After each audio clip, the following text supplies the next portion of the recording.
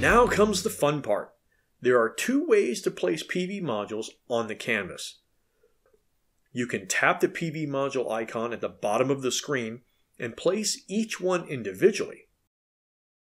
Or you can tap the PV module icon and then on the canvas, touch, hold, and drag the box to place entire strings of modules. If you start running out of room on the canvas, use the magnifying tool on the toolbar to adjust the grid zoom.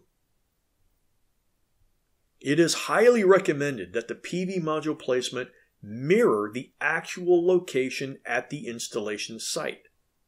It will serve as a map for future maintenance and troubleshooting. Select the pointer on the top toolbar to move modules into their correct positions once they have been placed. Once all modules are placed, it is time to add the Tigo TS4s.